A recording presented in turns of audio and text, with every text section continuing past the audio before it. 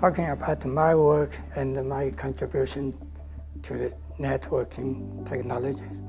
I actually I worked on two parts. One is the computer architecture, maybe 20 years.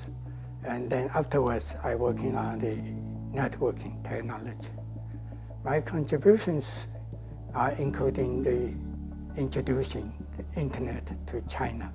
We have finished the first international connection for our network to the United States.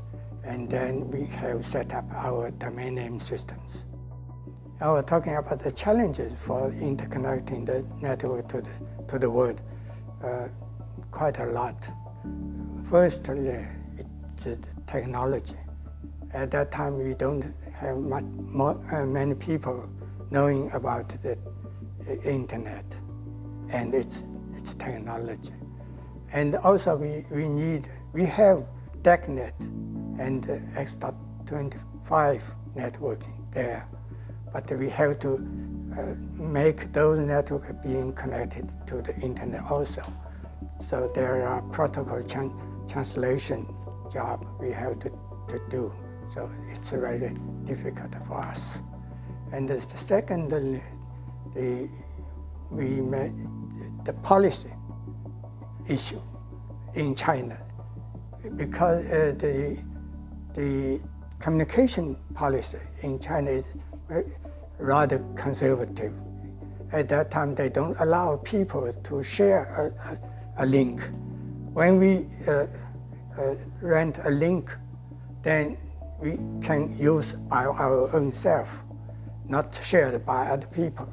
But for the networking, we have to connect many universities and research institutes in our area. So they don't allow it. So this is a policy uh, obstacles. And also we have device obstacles. At that time, Cisco routers are not allowed to export it to China, so we had to overcome them. And also we have some political uh, obstacles because at that time people told us uh, in the US, government department and military department are connected to the internet. So it, they cannot allow us immediately connect to them. So they, those are challenges at that time. We got a lot of help from other countries, especially from the US. We, we participated in many ISOC meetings, INET 92 and INET 93 and later. So we, we talked to people in, in the States and also the officials from the NSF many people are supporting us to be connected to the internet. And uh, especially, uh, we have an old friend in the UMKC, University of Missouri, Kansas City, a dean of the communication department.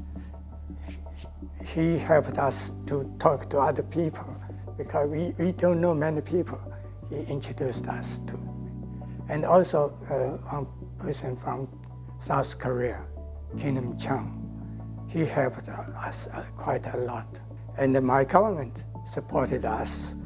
Uh, Madam Hu, who was the inductee of Internet Hall of Fame last year, she is responsible for this. Uh, she was my boss. He, she uh, is the deputy director of the Chinese Academy of Sciences and responsible for our work. So he, she helped quite a lot. First time China was connected to the internet is uh, on the 20th April 1994. At that time, because we are the academic network, so we connect to the NSF backbone, which is supported by NSF, and most of the universities are connected to the backbone. So that's the first time.